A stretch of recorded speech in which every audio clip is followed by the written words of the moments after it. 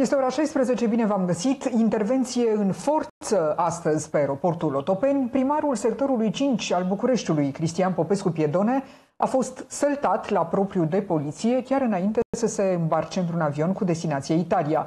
Piedone spune că avionul în care se afla a fost golit din cauza unei presupuse alerte cu bombă. Înainte să urce din nou în avion, primarul a fost luat de un polițist cu mandat de aducere, iar a fost dus apoi sub escortă la DNA, unde i s-a adus la cunoștință calitatea de suspect într-un nou dosar. Mi s-a adus la cunoștință cauza dosarului. Care ar fi? Că la preluarea mandatului meu, la nici trei luni de zile, la nici trei luni de zile, n-am pus în aplicare o hotărâre a Consiliului Local privind uh, de ce mai putea să exercite în sectorul 5 societatea REBU. Că singura societate abilitate era salubrizarea SEA. Ori, ulterior, în timpul anchetei, am spus, n-am dat astăzi nicio declarație, după studierea dosarului voi da declarație, denunțătorul este domnul fostul primar al sectorului 5, Daniel Florea. Este înăuntru. Uh, se pare că s-a denunțat singur în acest dosar. Probabil s-a deranjat foarte tare când am scos la iveală foarte multe nereguli din sectorul 5. Încăldurile lui, crezându-se tot în campanie la nici trei luni de zile, a făcut aceste denunțuri. Și vă anunț că n-au fost primele, uh, singurele denunțuri la singura instituție abilitate. TNA ridică documente doar din trecut și de la AS și pe creditele cu mașinile de salubrizare care s-au dat către, de, cumpărate de către AS către salubrizare, foarte multe nereguli. Dar este uh, părerea domnia lui, repet, într-o furie că să citesc, să vă dau, i s-a luat costița din fasole, da? Asta este. Colegul nostru, jurnalistul Dan Bucura, este în legătură telefonică directă. Bună ziua, Dan Bucura, mulțumesc mult! Bună ziua, bună ziua, Laura. Mă, da, mă gândeam acum la costița din fasole. Da. Și poate că uh, îți e foame deja. Uh, o scenă nu, de mi-e fi... foame, da. Dar, în schimb, nu pot să nu mă văd în ce cheie discută acești edili, oameni care împart bugete de zeci și sute de milioane și ne explică nouă despre costițe și despre fasole. Astea sunt mâncărurile săracilor din țara asta, nu ale celor care ajung la butoane, din, din păcate, știi? Mi-e teamă că la cât au crescut prețurile, chiar și aceste feluri uh, au devenit inaccesibile pentru mulți. Piedone vorbește despre un peisaj ca în filmele de acțiune. Oameni cu mitraliere, fusese și o alertă cu bombă în avionul în care se afla, ceea ce le-a permis autorităților să-i debarce pe toți pasagerii. Așa s-a dus polițistul uh, la uh, Cristian Popescu Piedone să-l anunțe că nu mai are voie să urce în avion pentru că au, i-au pregătit uh, o altă destinație, nu Italia, destinația de vacanță către care se uh, îndrepta. Uh, de ce toată această operațiune? Aveau informații oamenii legii că ar vrea să plece Piedone din țară?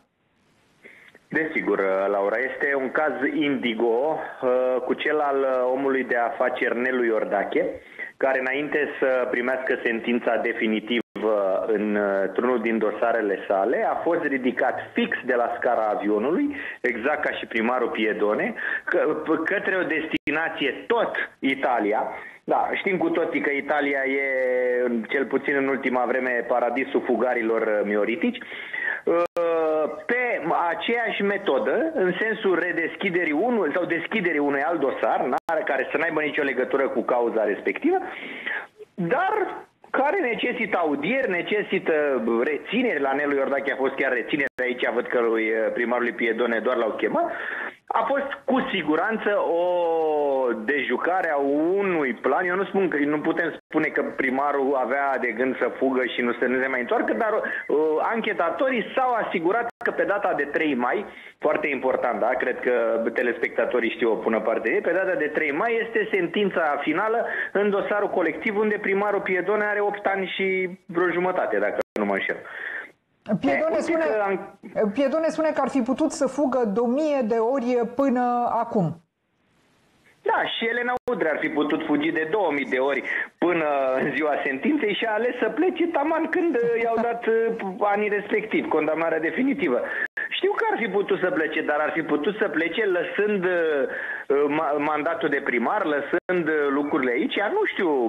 Ideea este că uh, cred că cumva, și uite aici e de luat în calcul pentru domnii aceștia care stau în Parlament și fac legi și ne asigură că lucrează spre propășirea neamului, să modifice cumva legea în sensul în care atunci când ți se apropie o sentință definitivă și irrevocabilă, tu având la fond niște ani de pușcărie, să o lași mai ușor cu plecările. E o idee. Pentru că altfel, da, eu, eu plec pe ideea că toți sunt nevinovați și toți au uh, uh, bune intenții, dar avem atâția fugari care ne râd nas din Italia cel puțin, și ne pun pe Facebook poze cu aroganțele și luxul în care trăiesc ei, având în România ani grei de pușcărie, încât cumva trebuie să punem și noi stop în țara asta acestor gesturi. Și atunci e simplu, bă frate, ai o sentință definitivă care ți se apropie, îți bate la ușe, stai puțin pe aici și fă concediu la Amara, la băile Felix, lasă Italia, că în Italia am văzut toți că parcă nu îți mai vine să vii când ai o sentință.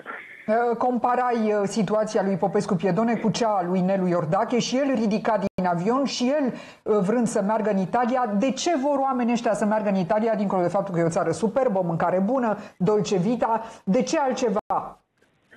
Pentru că legislația statului italian încă permite ca pentru pedepse până într-un anumit uh, număr de ani să poți face executarea lor la domiciliu sau mai elegant într-o arie oarecare, în oraș sau în provincia respectivă, mai ales pentru infracțiuni economice. Și atunci îi spun, domnule, dacă mă prinde condamnarea acolo, eu mă duc frumos, cum au făcut toți, mă duc, mă predau la autoritățile din Italia, mi se pune o brățară sau mi se dă o restricție de a călători și stau frumos liniștit la o proprietate în Italia, într-un orășel frumos, liniștit, în sud sau cum vrea fiecare clima. E o chestiune, zic eu, de nearmonizare totuși a legislației astea europene care ni se tot vinde nouă, da? vorbim de valorile comune europene și așa mai departe.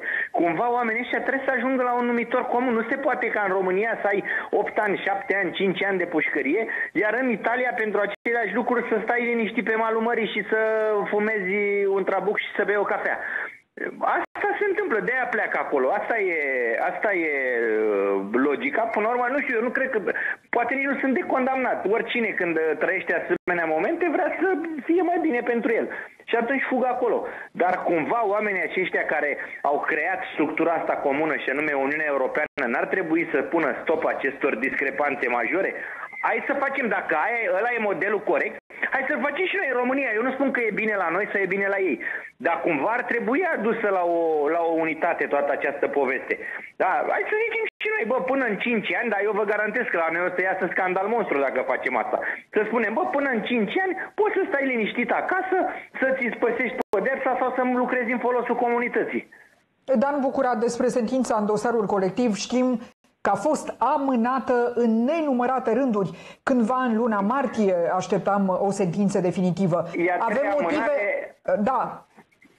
Te rog. Avem, avem, avem motive pentru că și judecătorii aceștia, bine, și în prima instanță s-a tot amânat, ba când treia să dea cu ciocanul, le amintesc telespectatorilor ca să înțelegem că acest dosar colectiv a fost un soi de cartof încins.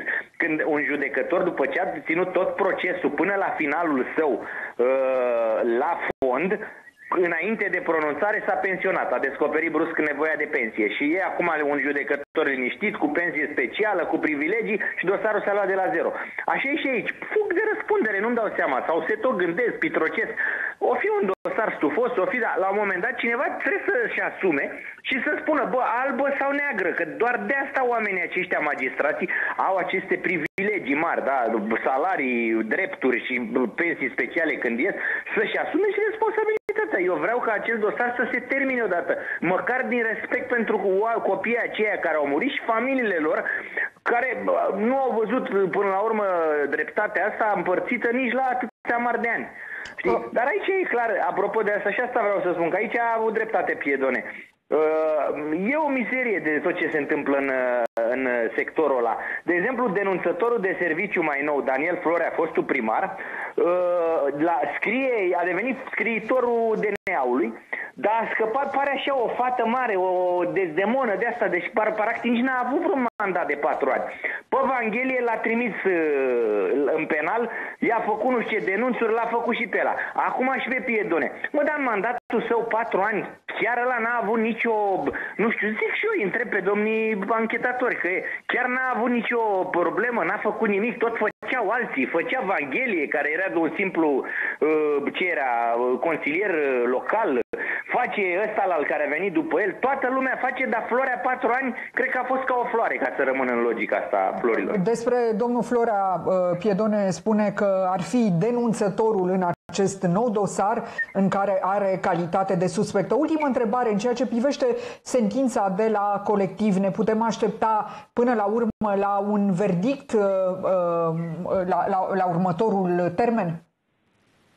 În mod normal, așa a rămas. E a treia amânare. Eu mă gândesc, repet, că din respect pentru tot ce s-a întâmplat să se pronunțe odată. Dar putem vedea, avem sentințe care s-au amânat și mai mult de trei termene, și patru, și cinci termene. Însă să luăm în calcul că dacă cumva ajungem în iunie, după mijlocul lunii iunie cu amânările astea, o să intervină vacanța judecătorească. Vacanță în care domnii magistrații nu vor să fie deranjați și atunci sentința se poate duce până la toamnă în uh, logica asta.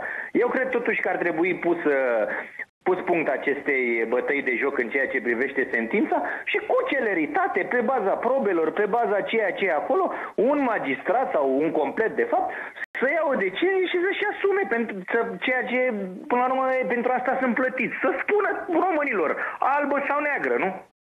Da, primarul Piedone îmbrăcat într-un brand explicit, numele brandului pe spatele puloverului său, inscripționat peste tot ca să fie uh, clar uh, ce uh, poartă. Dan Bucura, mulțumesc foarte mult pentru explicațiile tale. Au apărut astăzi cazuri noi de hepatită severă cu origine necunoscută în România.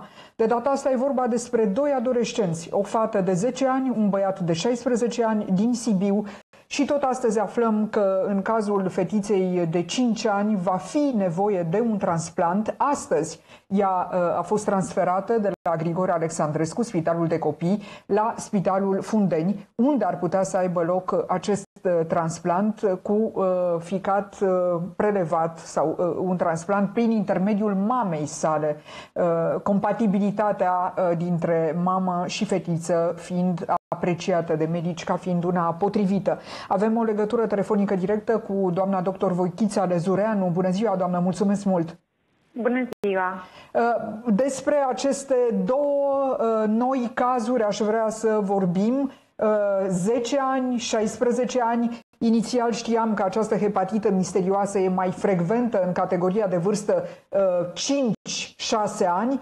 Iată că nici adolescenții nu sunt scutiți. Nu, din păcate, nu există o frecvență neapărat a apariției acestor hepatite de origine necunoscută. Se pare că acum, în actuala, așa așa spus, epidemie de hepatite, pare să copiii mai mici sunt mai afectați decât adolescenții, dar iată că la noi nu chiar se potrivește. Este uh, în acest moment faptul că vorbim despre DSB Sibiu, deci Direcția de Sănătate Publică Sibiu, care a făcut uh, cunoscute aceste cazuri, uh, ne putem referi la aceste cazuri ca fiind un focar? Este greu de spus, trebuie făcută întâi o anamneză foarte exactă, adică văzut dacă acești copii au avut legătură într-un fel, dacă undeva, printr-un aliment, printr-un contact, printr-un fel de apropiere, ei uh, s-au cunoscut sau cumva au, au, au fi putut să intre în contact cu un agent care să transmită această hepatită.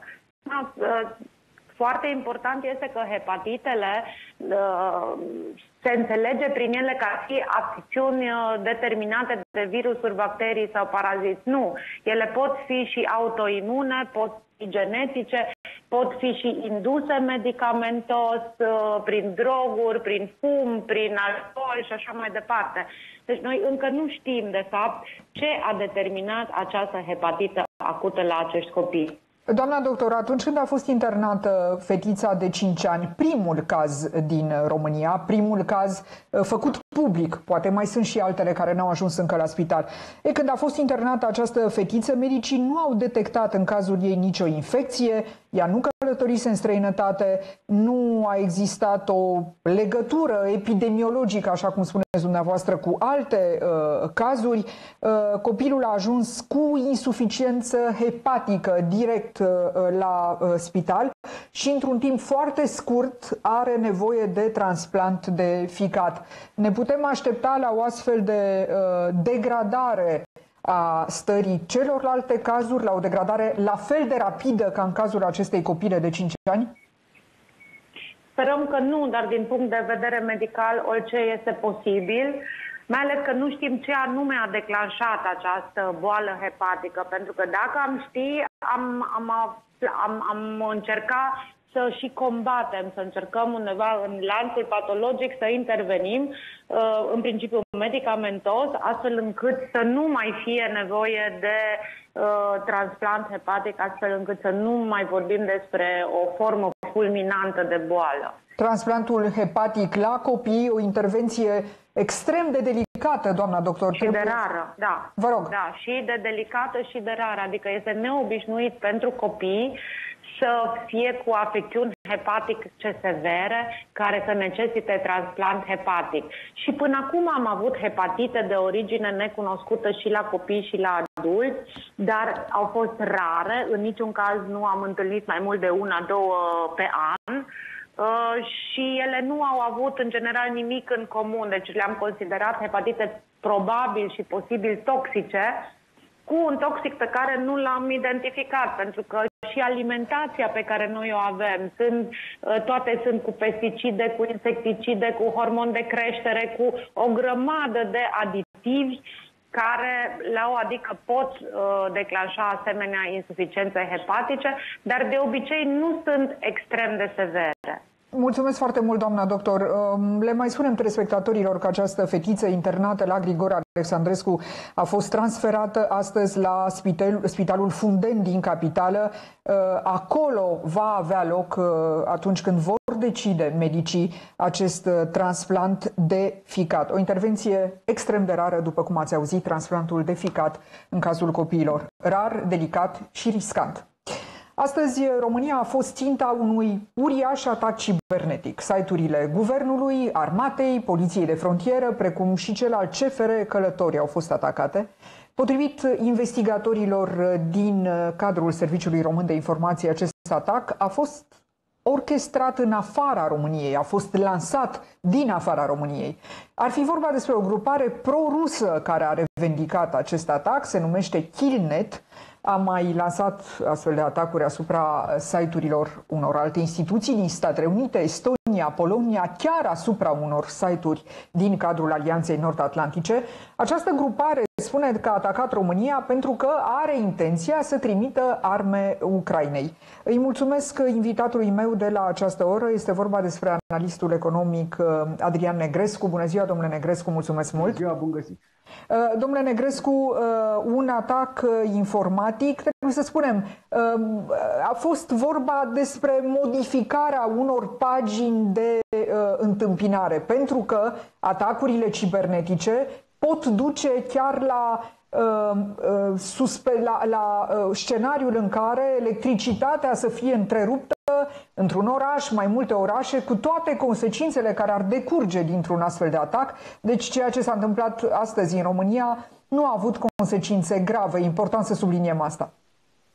Da, și trebuie spus că trebuie, e un semnal de alarmă legat de acest război, război uh, cyber în care am intrat și în care trebuie să ne luăm măsuri de protecție. Ceea ce s-a întâmplat astăzi dovedește stat, faptul că statul român nu prea e pregătit pe această zonă, dovadă că inclusiv site-ul guvernului a fost atacat cu nu, nu extrem de sofisticat. Atacul nu a fost unul extrem de sofisticat din punct de vedere uh, software. E un atac DDoS care putea fi prevenit dacă aveam niște, niște programe specializate, foarte ieftine, le găsești pe piață, care să prevină acest flux de informație care a dat aceste site-uri jos. În, în esență, practic, rușii au creat foarte mulți utilizatori care au venit pe aceste site-uri și care site-urile au scăzut. Au căzut. Practic, nu au mai putut fi accesate de către din România. E, e un semn de întrebare. E un semn de întrebare legat de modul în care noi suntem pregătiți pentru, uh, pentru pentru acest război cyber, că ia gândiți-vă la, la situația în care rușii ar fi atacat un site extrem de interesant cum este ghișeul.ro, uh-huh. acolo unde sunt înregistrate toate tranzacțiile făcute de, de români în zona asta de taxare, taxe, impozite și lucruri de genul ăsta și care deține informații foarte concrete legate de cardurile și de tranzacțiile românilor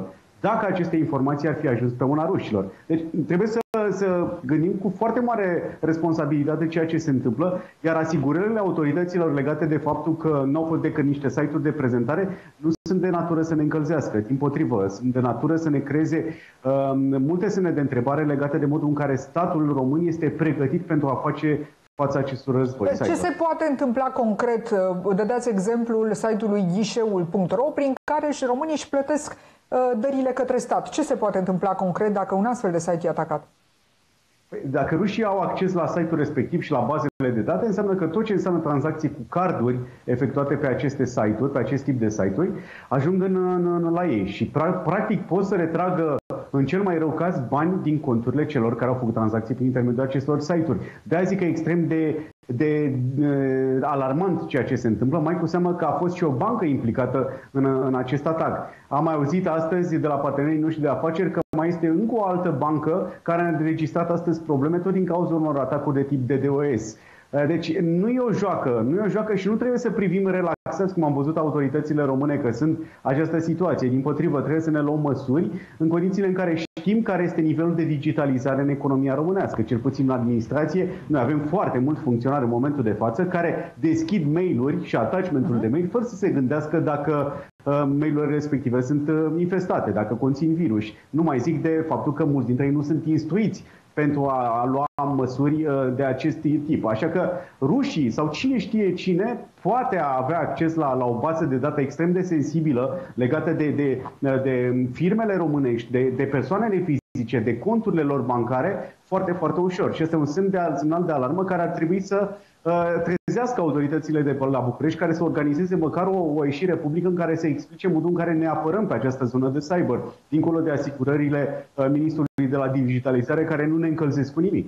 Da, și e foarte interesant în ce măsură această revendicare a grupării pro-ruse uh, Killnet e una reală, că și aici putem fi puși pe piste false. Există o reacție din partea lui Marcel Cioracu, președintele uh, Camerei Deputaților, pentru că cei care au atacat susțin că sunt deranjați de faptul că România ar avea intenția să trimită arme Ucrainei. Haideți să vedem ce a declarat astăzi președintele PSD pe această temă.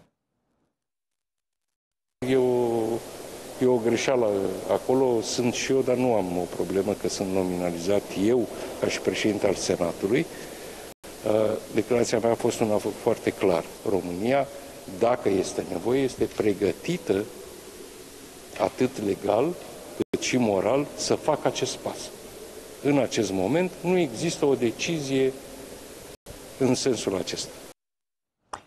Iată, Adrian Negresu, că nici hackerii nu sunt infailibili și ei pot confunda uh, numele domnului Ciolacu cu cel al domnului Câțu. Domnul Ciolacu spune, le atrage atenția hackerilor, vedeți că ați greșit, eu, eu nu sunt președintele Senatului.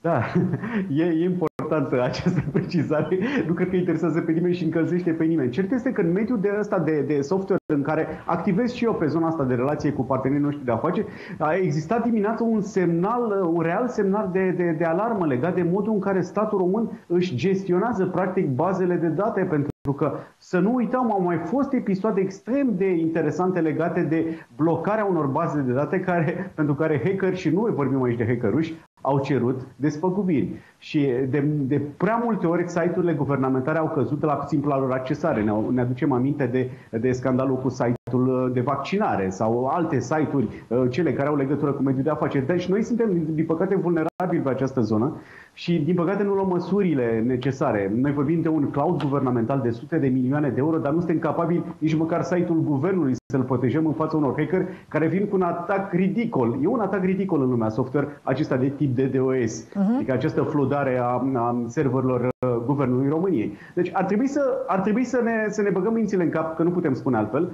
și să venim cu o explicație foarte clară. Avem un ministru al digitalizării care ar trebui să vină și să ne ofere o foaie de parcurs legată de modul în care sunt asigurate um, datele românilor și, ce spuneați dumneavoastră la început, acele informații extrem de importante și accesul la dat, bazele de date care țin de, um, de um, zona asta de, de control a traficului, control al unor, unor mecanisme economice care pot genera multiple probleme în economie. Gândiți-vă dacă un hacker a accesat, de exemplu, uh, baza de date și ar avea acces la, la interfața software a metroului din București, ce s-ar putea întâmpla. Trebuie să fim foarte atenți la lucrul acesta și sper ca serviciile secrete de la noi, în special STS-ul, să ia măsuri de urgență pentru că rușii nu se vor opri aici, cum nu s-au oprit nici în Cehia, nici în Polonia, unde la fel au atacat bazele de date ale, ale statelor respective. Adrian Negrescu, avem nevoie de comentariul dumneavoastră pentru că informațiile privind prețul porumbului uh, sunt foarte interesante. Cotația prețului porumbului la burse din Statele Unite este la cel mai mare nivel din ultimii șapte ani. Ca să facem o glumă, am putea să spunem că a început să explodeze mămăliga și de data asta nu e vorba despre mămăliga uh, românească.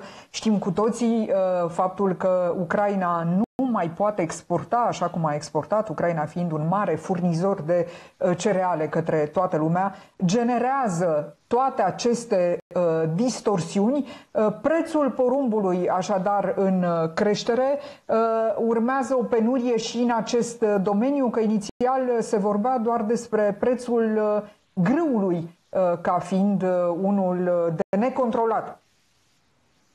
Da, din păcate ne, ne îndreptăm spre acest scenariu în care, într-adevăr, prețul grâului, prețul prălumbului vor exploda în această vară, mai cu seamă că în multe dintre statele lumii se anunță o secetă importantă, inclusiv la noi, în România se vorbește de secetă, astfel încât cantitățile de porumb la nivel internațional vor fi destul de eh, mici, limitate și la prețuri foarte mari. Să nu uităm că din China a început să importe foarte, foarte mult porumb. Ei și-au schimbat foarte mult obiceiurile de consum și ceea ce, dacă înainte mâncau adică foarte mult Adică au început să mănânce mămăligă chinezii. Mănâncă, mănâncă porumb mănâncă pâine grâu, uh, consumă foarte multă carne, practic au distorsionat piața agroalimentară la nivel internațional în ultimii 5 ani de zile, pe fondul și creșterii nivelului de trai din țară și schimbării obiceiurilor de consum. Deci e o situație extrem de dificilă în care și noi trebuie să ne protejăm. Avem mare noroc, avem o producție uh, locală destul de, de importantă, uh, dar trebuie să ne protejăm din punct de vedere al, al tentației de a exporta această producție la prețuri foarte mari. De pildă,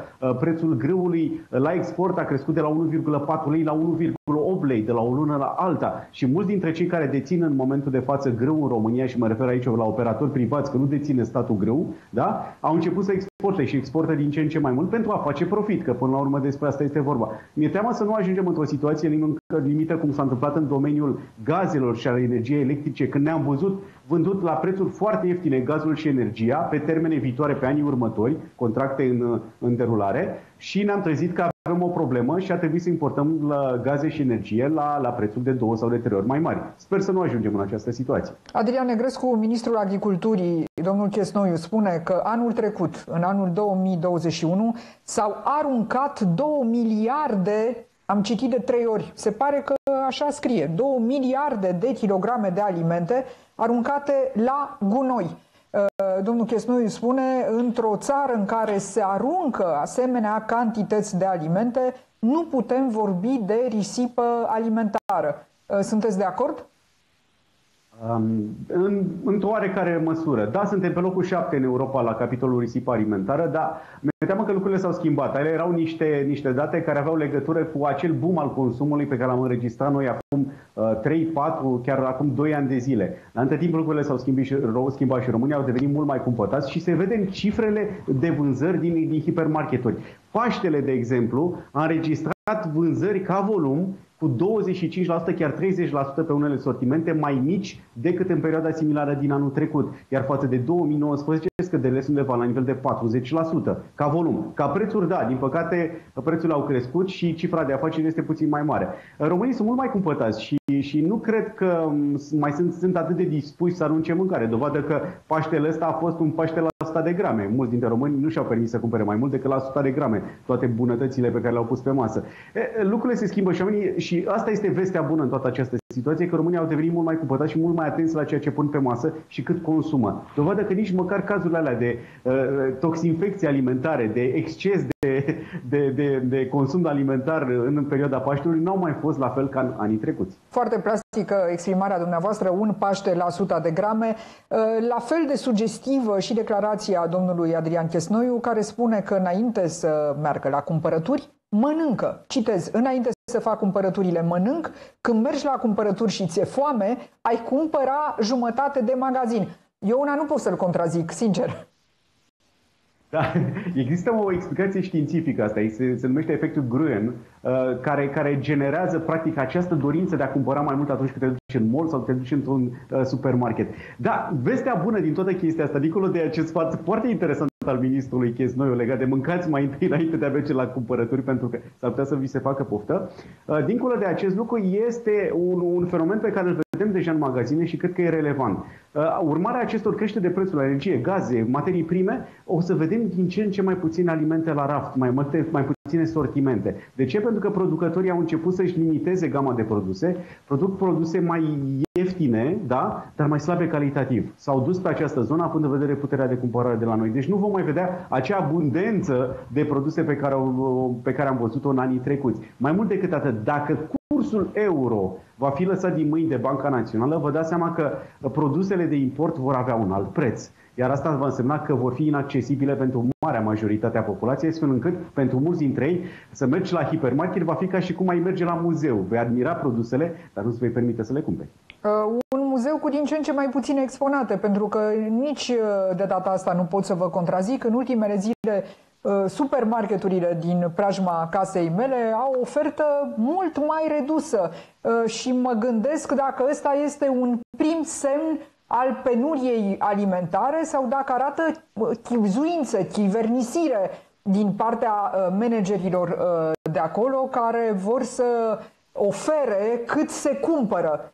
Cum ar trebui să, să luăm uh, aceste semnale? Toți cei care vând în magazine, până la urmă, au un business și încearcă să vândă la niște prețuri cerute de piață. Nu te poți duce cu prețurile la nesfârșit, ca oamenii nu mai cumpără magazinul. Motiv pentru care vom vedea din ce în ce mai puține produse și mai slabe calitative. Adică, în esență, de acum încolo, cel puțin un an, un an și ceva cât va dura acest iureș inflaționist, vom mânca mai puțin și mai prost. Și asta este o mare problemă pentru că se referă la sănătatea românilor și, din păcate, pentru mulți dintre români, cei care sunt plătiți pe salariu minim pentru pensionari, pentru cei care au câștiguri foarte, foarte reduse, margarina, cartofii, um, pâinea și Poate puțin ouăle, dar mă tem că nu vor mai fi ouăle atât de, de, de bine vândute. Se vor afla în Deci, de practic, ne întoarcem la pariză și la margarină în următorii ani, uh, pe fondul creșterii prețurilor și pe fondul scăderii puterii de cumpărare. Este vineri seară, poate vă numărați printre cei care se pregătesc uh, să plece la mare. Uh, trebuie să aflați că noaptea asta se închide traficul pe autostrada Soarelui pe anumite sectoare. Uh, deși costurile de cazare sunt mari și vremea se anunță capricioasă, sunt doritori în continuare. Uh, dezbatem uh, acest subiect după o foarte scurtă pauză.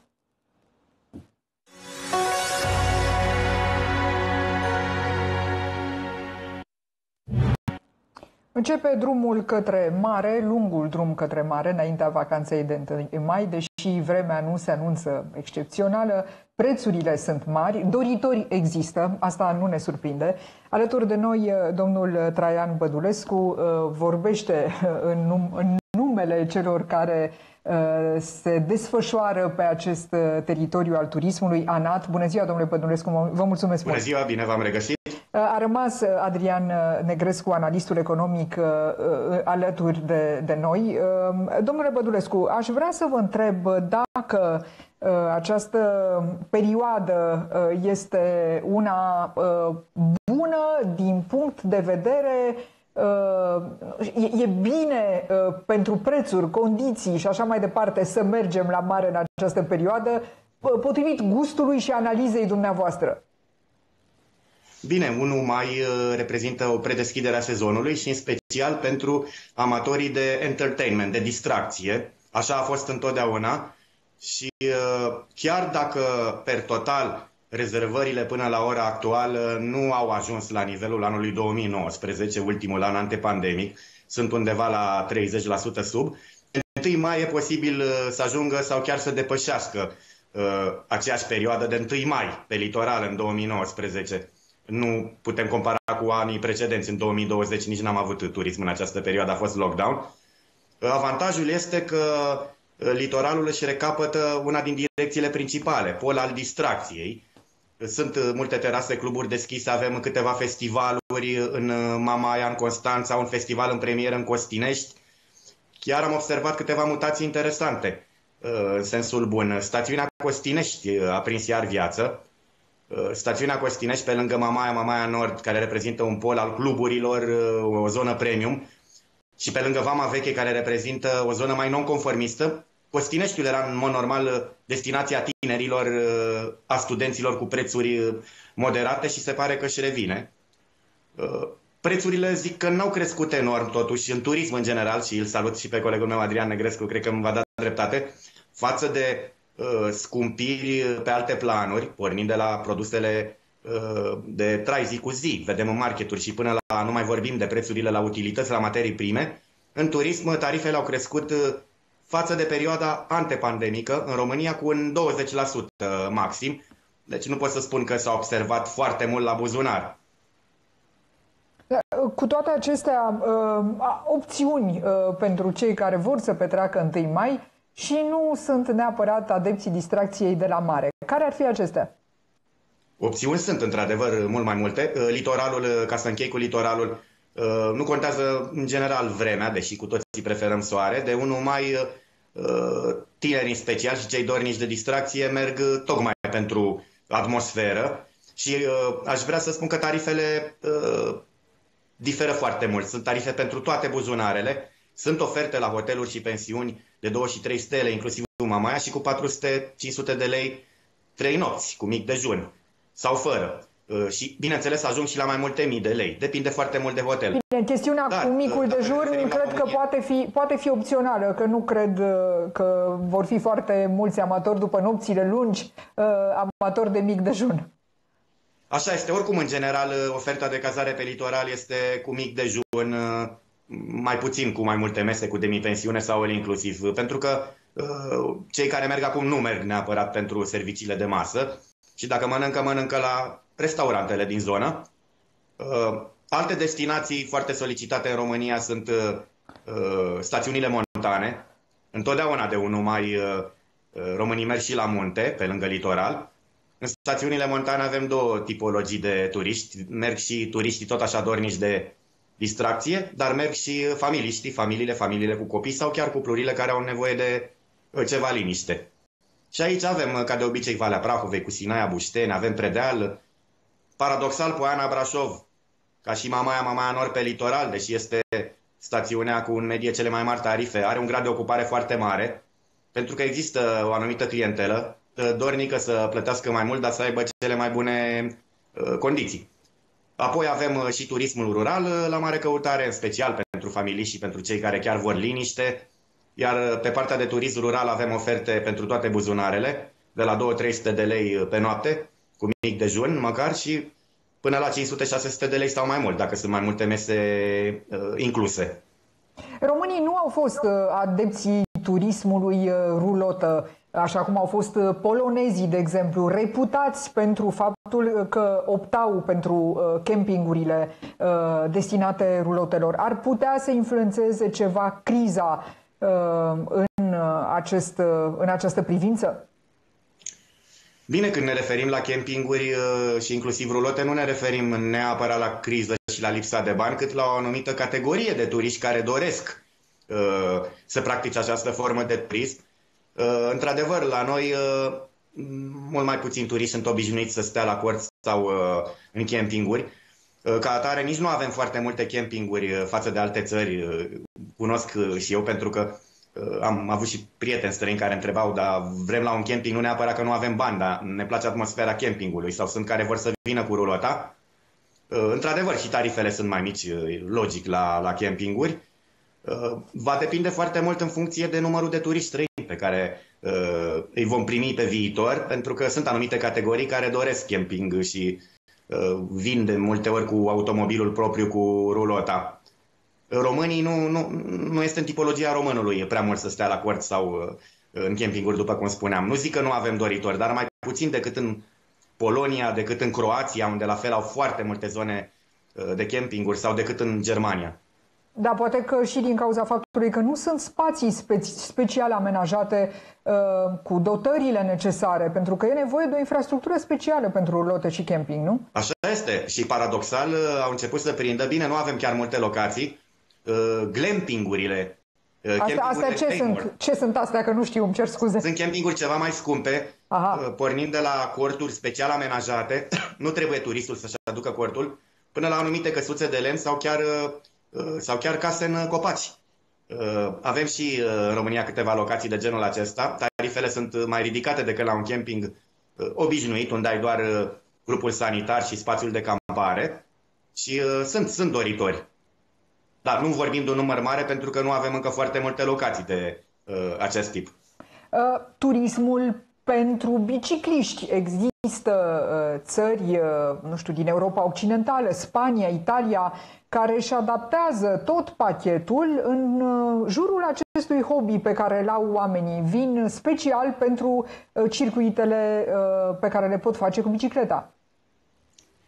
Așa este, turismul dedicat ciclismului, pot să zic că a început să se dezvolte și la noi, în țară, și datorită turiștilor străini care au venit aici. Au existat multe caravane, dau un exemplu, de-a lungul Dunării, și uh, au fost grupuri de cicliști care au pornit din Austria, din uh, Germania, Austria, Ungaria și au urmat cursul Dunării până în uh, România. Chiar, chiar mă bucură că de 1 mai vorbim de turism activ, pentru că, în general, 1 mai înseamnă și revenirea la viață, ne intrăm în, uh, intrăm în plină primăvară, mai avem un pic și intrăm și în sezonul de vară. Și uh, 1 mai, uh, eu aș spune că informal, neoficial, ar trebui să fie o uh, zi care să caracterizeze turismul activ. Dacă Sfintele Sărbători de Paște sunt mai mult pentru reculegere, stat în familie, uh, familii cu copii, de 1 mai uh, uh, turiștii vor activitate în general, inclusiv familiile cu copii.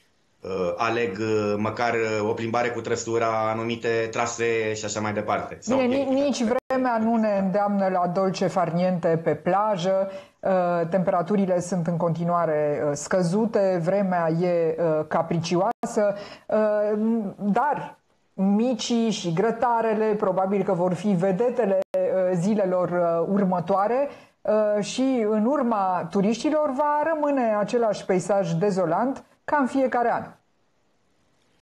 Să sperăm că nu. Bine, în ultima vreme și, turismul, și turistul român este mai educat și în privința curățeniei. Până la urmă putem avea o țară curată dacă avem fiecare grijă normală. De a chiar avea, eu chiar consider că am avea nevoie de cursuri de educație turistică și cum să te comporți ca turist și cum și să cum, cum ar trebui să arate aceste cursuri? E foarte interesant. Ce ar trebui să învețe turiștii la aceste cursuri de educație speciale pentru turiști? Inclusiv de la regulile de cazare la un hotel. Uh, sunt turiști care încă au senzația, domnule, am plătit, uh, am dreptul la orice. Nu, nici la tine în casă nu ai dreptul la orice. Nu poți să-ți deranjezi vecinii. Totuși trăim într-o comunitate și inclusiv în mediul turistic avem alături de noi alți turiști și trebuie să trăim în uh, armonie. Uh, chiar mă bucură că sunt din ce în ce mai multe evenimente și tabere care promovează foarte mult uh, igienizarea. Uh, sunt foarte multe locuri, de exemplu, pentru uh, deșeurile menajere și turiștii este bine să respecte și să arunce acolo deșeurile. Oricum, eu cred că am mai făcut totuși niște pași în uh, direcția bună în ultimii 10-15 ani. Și va, va ar să fie și sancțiunile mari pentru încălcarea regulilor până la urmă, așa cum a fost în Germania de sute de ani. Va începe și sezonul festivalurilor uh, în scurt timp uh, și în jurul acestor festivaluri se va crea o anumită formă de turism. Absolut. România chiar în ultimii ani a devenit o țară a festivalurilor și acesta reprezintă un punct de atracție. Doar că aici nu putem vorbi decât de anumite perioade când uh, turiștii, inclusiv străini, să nu uităm că avem Antolda, la Cluj, avem Neversea pe litoral și uh, aceste festivaluri atrag și mulți străini. Uh, ei uh, și cheltuiesc, bineînțeles că își caută și cazare în această perioadă Dar pe lângă aceste festivaluri, eu zic că turiștii străini mai ales care vin în țară pot fi atrași să și revină dacă sunt primiți cum trebuie. De multe ori evenimentele pot să atragă turiștii străini, vizitatorii străini, care revin uh, apoi, dacă au fost mulțumiți de atmosferă, de condiții, frecvent ca turiști. Uh, Traian Bădurescu, o uh, întrebare pe care nu are sens să o evităm, că probabil oamenii oricum se gândesc la ea. Situația de securitate în zona Mării Negre este una delicată, e una complicată. Uh, ar putea pune probleme pentru turismul pe litoral? La ora actuală, nu, legat de ce se întâmplă acum. Pe viitor, firește că nu avem de unde să știm, pentru că trăim oarecum o atmosferă asemănătoare cu cea din primul an de pandemie, până când ne-am dat seama cum stă treaba. Ideea este că la ora actuală, mai ales după 9 martie, când s-au eliminat total restricțiile în România, aviz și turiștilor străini, nimeni nu mai trebuie să prezinte nimic la frontieră decât actul de identitate. Uh-huh. Momentan România a început să circule, rezervările încep să crească gradual, cam de o lună de zile. Uh, sunt turiști care și-au petrecut Sfintele Sărbători de Paște și merg și acum uh, și în Delta Dunării, fără niciun stres. Și dacă e să ne gândim, Delta Dunării e mai aproape de zona de conflict chiar decât Maramureș și Bucovina. Sigur și ele da. sunt la graniță, dar uh, delta se află mai aproape de sudul Ucrainei. Până Sigur, la ora actuală... Isaccea este un punct foarte apropiat uh, de, de Ucraina, e adevărat? Uh, bine, de, acolo este un conflict convențional momentan. Pot să spun doar ca o comparație. În cazul unui conflict, ca o paranteză, nu știm ce se poate întâmpla, într-adevăr. Doamne ferește să nu vorbim de o escaladare. Dar în rest, Israelul și Iordania sunt destinații de top turistice. Acum și-au revenit și să nu uităm că de 11 ani au, sunt vecine în imediată apropiere, tot așa cu o mare zonă de conflict, Siria. Aceasta nu a îndepărtat turiștii, pentru că uh, granițele sunt foarte bine păzite, așa cum uh, este și în România. Să nu uităm până la urmă că suntem o țară membră NATO și membra Uniunii Europene și îmi face plăcere întotdeauna să zic uh, de două luni ucrainenii, mulți s-au simțit la noi în țară în siguranță, chiar dacă doar au trecut o singură graniță, nu mai mult, uh, și chiar avem sute de cetățeni ucraineni care s-au angajat în uh, Horeca, în turiști și servicii. Deja asta este o informație interesantă. Mulțumesc foarte mult pentru acest tur de orizont uh, pe care l-am făcut înaintea vacanței de 1 mai. Uh, este o zi foarte interesantă, este o zi care uh, ne readuce înapoi în istorie. Congresul Statelor Unite reînvie epoca celui de-al doilea război mondial. Cum se întâmplă asta și ce speră Statele Unite să obțină în urma uh, adoptării unui document extrem de important. Vă spunem de la ora 17, invitatul meu va fi politologul Cristian Pârvulescu.